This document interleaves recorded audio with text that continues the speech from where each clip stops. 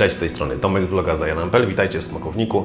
Smakownik to jest taka seria na moim kanale, w której ja pokazuję Wam proste i szybkie w wykonaniu przepisy, które dodatkowo mają mało składników, więc możecie je wykonać dosłownie pół godziny przed przyjściem niezapowiedzianych gości. I właśnie dzisiaj taki przepis, który możecie zaszpanować wśród gości, ale też e, który będzie świetną przekąską do oglądania na przykład filmu czy meczu, czyli słone, serowe krakersy, które sami zrobicie bardzo szybko w domu.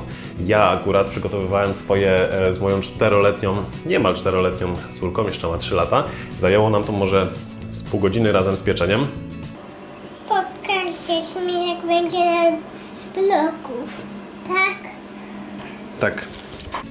Jeżeli z małym dzieckiem, które e, oczywiście jest świetnym pomocnikiem, była dla nas to świetna zabawa, ale e, robota nie szła tak szybko, jakbym robił to sam, więc jeżeli z małym dzieckiem udało się to zrobić tak szybko, to myślę, że Wam uda się e, być może nawet w 20 minut. Lista składników jest bardzo krótka, potrzebujecie tylko szklankę mąki, czyli około 130 gram, pół szklanki startego parmezanu. Ja akurat w tym przypadku, który widzicie właśnie na filmie, e, zrobiłem mieszankę połowę parmezanu, połowę sera cheddar. Do tego oczywiście będzie 1 czwarta kostki masła, czyli 50 gram, do tego pół łyżeczki soli i około 5 łyżek śmietany. Ponieważ to jest bardzo szybki przepis, e, przygotowanie zaczynamy od rozgrzania piekarnika do temperatury 200 stopni na dolną i górną grzałkę bez żadnych termoobiegów czy grillów. Wystarczy teraz, że mąkę z serem porządnie wymieszasz, do tego dodasz sól i pokrojone e, w drobne kawałeczki to zimne masło.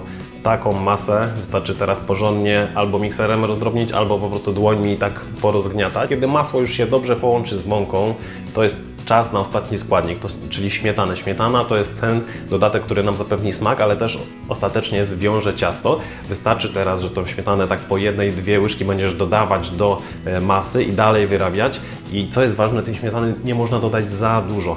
Czyli jak już ciasto będzie się fajnie lepić, już będzie dość zwarte, ale jeszcze nie będzie takim bardzo lepiącym się do rąk, to znaczy, że już śmietany więcej nie dodajemy. No i tym sposobem ciasto będzie już gotowe. Teraz wystarczy na stolnicy rozsmarować mąkę, e, położyć to ciasto delikatnie, opruszyć jeszcze e, mąką, żeby się nie lepiło do wałka, rozwałkować na grubość około 4-5 mm i to wszystko. Ciasto jest gotowe. Teraz wystarczy powycinać je przy pomocy na przykład noża do pizzy, który ma taki fajny gofrowany e, rand i dzięki temu te krakersy będą miały super kształt.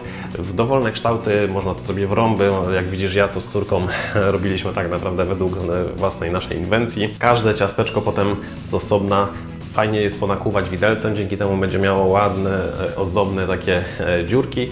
I tak przygotowane krakersy wystarczy, że ułożysz na blaszce wyłożonej papierem do pieczenia i wrzucisz do piekarnika, nagrzanego do 200 stopni Celsjusza, na około 8 minut. Jak one zaczną się już tak przypiekać na złoto-brązowo, to znaczy, że już jest idealny moment, żeby je wyjmować. Wystarczy je tylko przestudzić i można podawać na stół. Do tego oczywiście przydadzą się jakieś fajne dipy, ale to już e, oczywiście znajdziesz na blogu w innych przepisach, a także tutaj na kanale. I pamiętaj o tym, żeby jeść smacznie, zdrowo i kolorowo. Zapraszam Cię do subskrybowania mojego kanału, wtedy nie przegapisz kolejnych filmów, czy to ze smakownika, vlogów, czy przepisów. I do zobaczenia następnym razem. Cześć!